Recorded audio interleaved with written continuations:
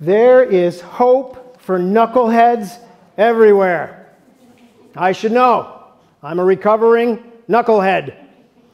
I have a true story for you today. It's the story of a head of knuckle becoming a heart of gold. It's not my story. This story comes from my best buddy in the whole world. We went through seminary together, we were ordained together. His name was Brian Black, and I lost him 20 years ago this month. Still hurts, but I was with him when he died, and it's up to me to keep his stories alive.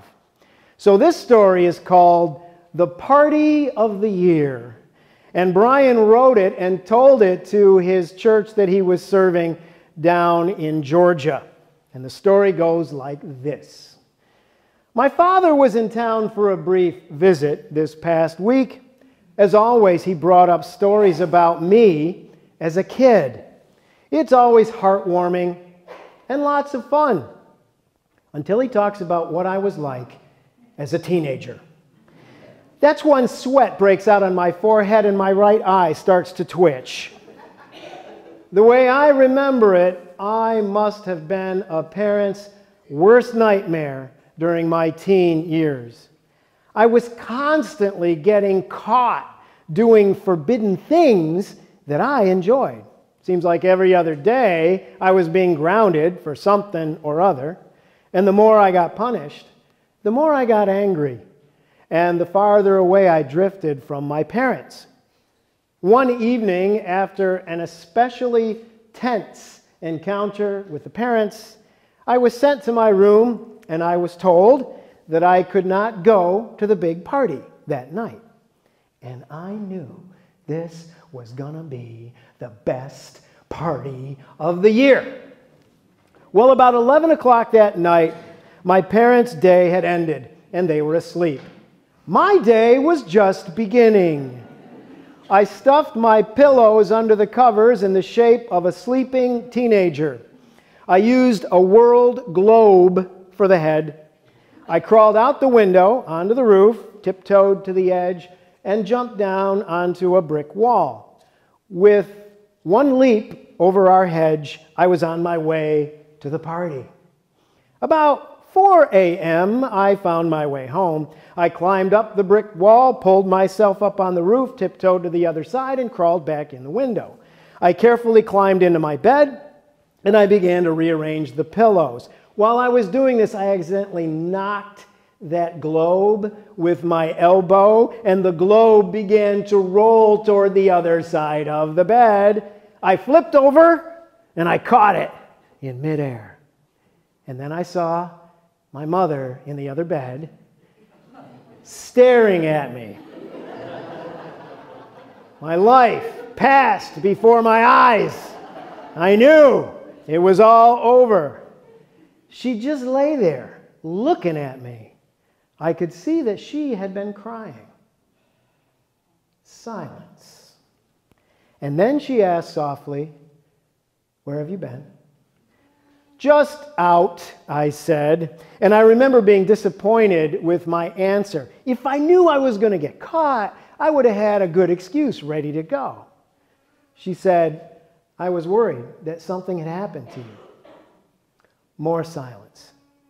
Then she said, I'm just glad you're home. She got up, she left my room. No more questions, no more discussion. And I don't remember that this incident ever came up again. I do remember lying in my bed after she had gone, looking up at the ceiling, still holding that globe in my hands. And I wondered how long she had been lying there, waiting for me to come home. And why the tears? What was that all about?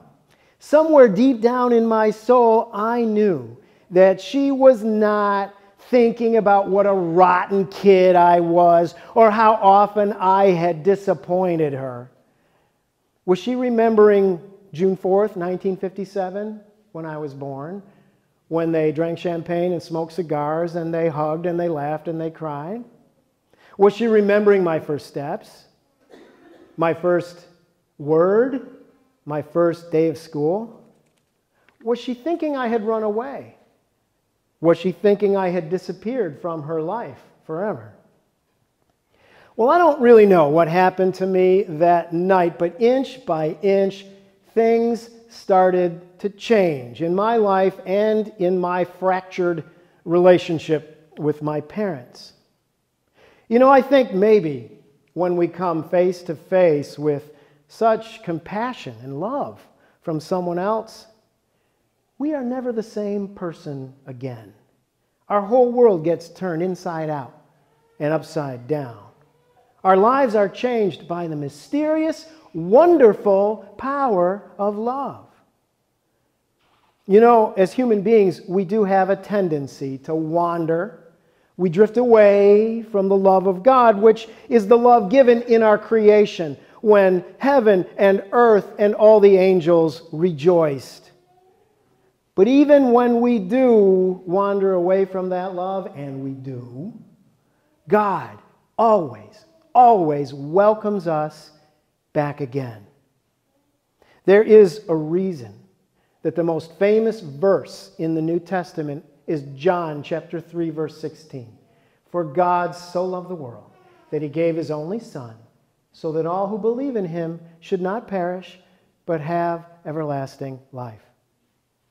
It's all about love.